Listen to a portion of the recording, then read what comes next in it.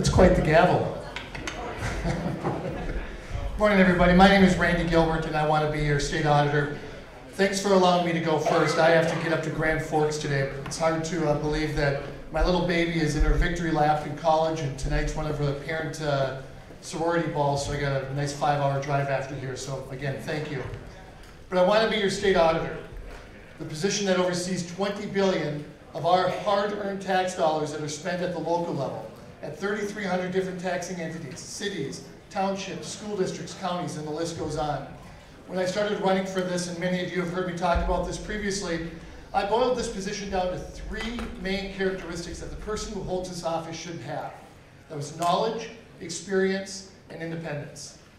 And I'm sure you've heard me talk about this over the last six, seven months. Our current state auditor does not possess one of these things. We have a state auditor who is a biology major, we have a state auditor who the only experience she has as auditing has come from being our elected state official. And independence, which is the cornerstone of an auditor's world, she has none. She is backed, endorsed, and financed by the very entities that she is supposed to be auditing. I will tell you that in my world, as an auditor, if our independence was tainted, we'd be fired and barred from doing our job. So we need to make certain that this November, we fire and bar Rebecca Otto from being the state auditor for four more terms.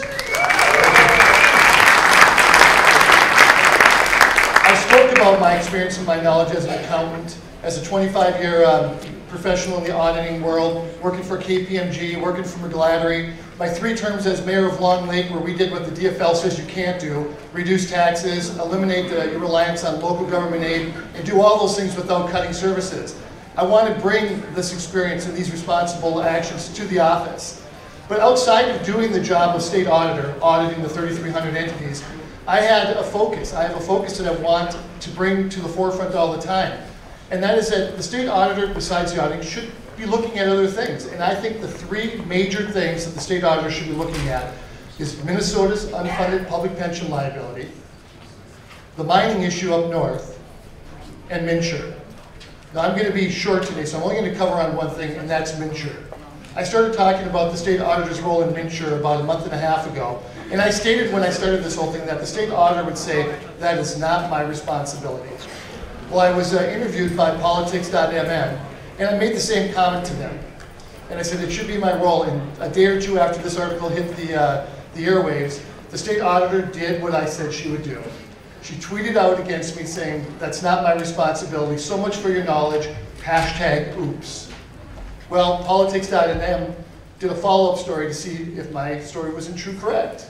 And at the end of the day, I got a four Bobber Award. And the four Bobber Award is the best award you can get that says, Mr. Gilbert is correct.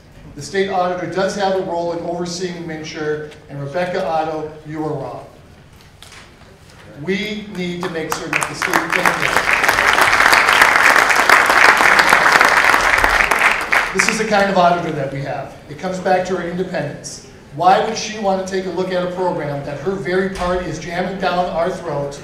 It's shown to be failed. Why would she come back and say, yes, we have problems?